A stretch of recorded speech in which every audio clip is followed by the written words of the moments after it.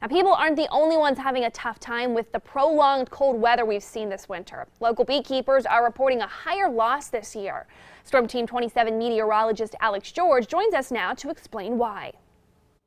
Chelsea, it's not uncommon for beekeepers to lose hives during the winter, but I talked with one beekeeper who says he lost seven of his eight hives, which is a higher loss than normal. He says there are two issues. The first is Varroa mites. It's an issue that beekeepers have been dealing with since the 1980s. The mites attack the honeybees.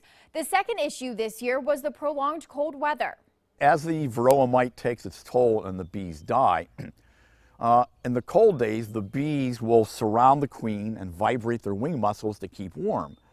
Well, less and less bees means less and less heat. Most beekeepers are now looking forward to swarm season. It's one way that they can replenish their hives. Swarming is how hives reproduce. When a beehive becomes overcrowded, roughly half the bees will leave and start looking for a new home. Bruce says swarming typically starts in May and will continue into June. Bruce says if you see a swarm, do not touch it or spray anything on it. The best thing to do is call a beekeeper. In the studio, Alex George, First News at noon.